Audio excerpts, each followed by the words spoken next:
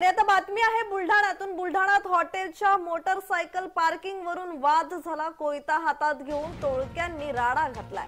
हॉटेलची तोडफोड करत कर्मचाऱ्यांनाही मारहाण करणार करण्यात आलेली आहे. राडा घालणाऱ्या गुंडांविरोधात पोलिसात तक्रार दाखल करण्यात आली आहे. तर दहशत माजवणारे सीसीटीव्हीत कैद झाले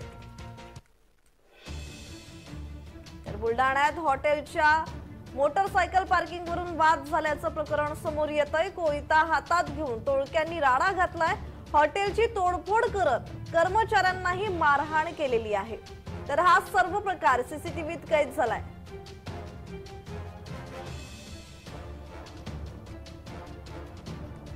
तर या संदर्भात अधिकची माहिती देत आहेत आमचे प्रतिनिधी प्रफुल खंडारे. प्रफुल हॉटेलच्या मोटरसायकल पार्किंग वरून वाद झाला आणि हा वाद खरं तर विकोपाला गेल्याचं पाहायला मिळालेलं आहे. या संदर्भात आता पोलिसांची काय भूमिका आहे? पोलीस कशा प्रकारे तपास करत आहेत? प्रज्ञा निश्चितच अत्यंत गंभीर हे प्रकरण या ठिकाणी म्हणावं लागेल. रात्री बुलढाणा शहरातील जिमखाना हॉटेलमध्ये हे जे दोघं गुंड दहशत पसरताना आपल्याला दृश्यांमध्ये पाहायला मिळतात त्या ठिकाणी आले होते. आणि पार्किंगची व्यवस्था असताना देखील हॉटेलच्या गेटवर हे यांची दुचाकी लावायचा प्रयत्न करत होते. मात्र हॉटेलमधील कर्मचाऱ्यांनी त्यांना हटकलं आणि येथे दुचाकी न लावता पार्किंगमध्ये लावण्याची विनंती केली. मात्र त्यांनी तिथल्या कर्मचाऱ्यांची वाद घातला आणि हा वाद आणखी वाढत गेला. आणि त्यानंतर कर्मचारी आणि या हॉटेलमध्ये जेवणासाठी आलेल्या गुंडांमध्ये चांगलीच हाणामारा झाल्याचं आपल्याला पाहायला मिळतं. त्यानंतर मात्र कोयता घेऊन अक्षरशः या गुंडांनी या ठिकाणी चांगलाच गोंधळ घातला. हॉटेलची तोडफोड केली.